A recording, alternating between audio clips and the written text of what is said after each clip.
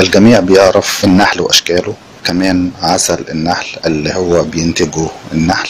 النحل ده بيعتبر حشرة بتنتمي لفصيلة معينة اسمها غشائيات الأجنحة وبيسموها برضو كمان النحليات يعني فصيلة النحليات.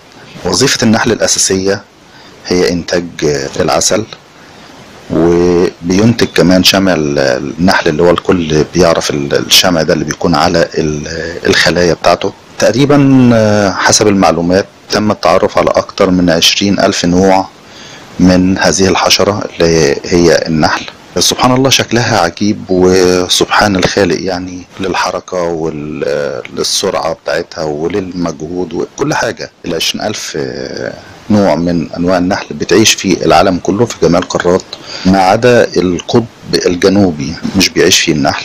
النحل من أشد المجتمعات تعاون ونظام بيتميز النحل بالنظام الشديد والتعاون الشديد جدا يعني. بيتميز بإنه النشاط بشكل غير طبيعي يعني. النحل فيه أكتر من نوع في النحل اللي بينتج العسل وفي النحل اللي هو الطنان. بيعتبر النحل من أكتر الحشرات نفعا على الإطلاق لإنتاجها العسل اللي هو المفيد للبشرية كلها. لكن للنحل أيضا فايدة مذهلة جدا يمكن يجهلها الكثير من الناس وهي إن النحل بيقوم بتلقيح الأزهار. لما بيتنقل من زهرة لأخرى. في بعض المعلومات الغريبة جدا جدا عنه وعن العسل اتعرف تاريخ إنتاج العسل يعني من 150 مليون سنة.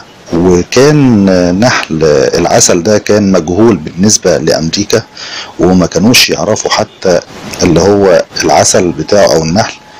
لحد ما وصل المهاجرين الإنجليز والهولنديين والأسبان لأمريكا.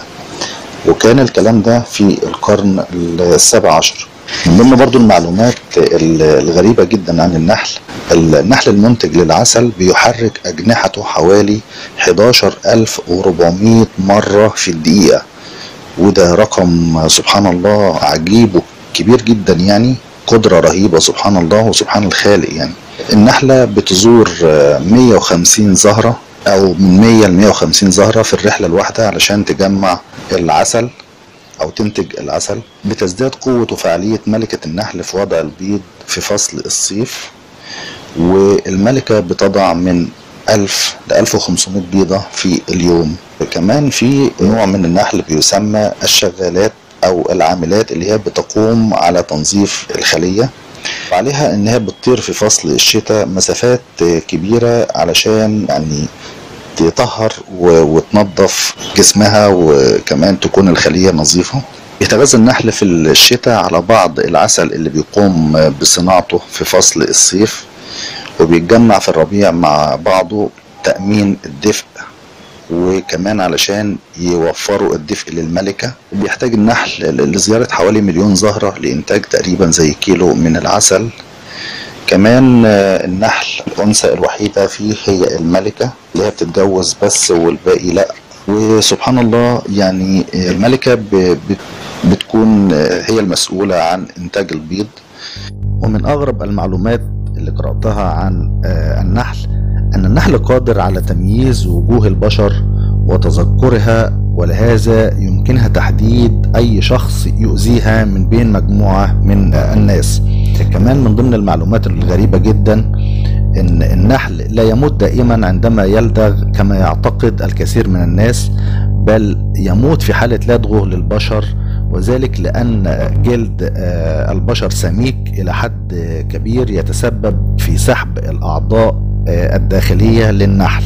من ضمن المعلومات الغريبة عن النحل أن النحل الطنان بيقوم بعمل تمارين إحمائية قبل أن يطير. كمان آه، معلومة مهمة جدا بتقول إن بمجرد أن تصبح ملكة النحل غير قادرة على مواصلة عملها لكبر آه، سنها يعني أو مرضها بتتجمع آه، حولها النحلات الخادمة أو اللي هي الخادمات يعني اللي في الخلية بيتجمعوا حولها حتى تموت الملكة من شدة ارتفاع الحرارة حولها يعني بيتلفوا حواليها عشان يرفعوا درجة الحرارة لحد ما الملكة تموت يعني من ارتفاع درجة الحرارة. كمان معلومة مهمة إنه بيتم توجيه النحل الجامع للعسل لأداء وظائفه بناء على عمره. يعني ال- العمر النحل هو اللي بيحدد الوظيفة اللي بيعملها اللي هو في ال- النحل اللي هو جامع للعسل. كمان بيتواصل النحل الجامع للعسل فيما بينهم عن طريق الرقص ودي معلومة غريبة جدا. كمان معلومة من أجل أن يتم جمع عسل يكافئ ملعقة شاي يموت من النحل 8 نحلات في سبيل جمع هذا الكم من العسل. أرجو أن يكون الفيديو أفاد حضراتكم وإن شاء الله يكون لنا فيديوهات قادمة بإذن الله. والسلام شكرا على. المشاهدة ولا تنسوا الإعجاب بالفيديو والاشتراك بالقناة.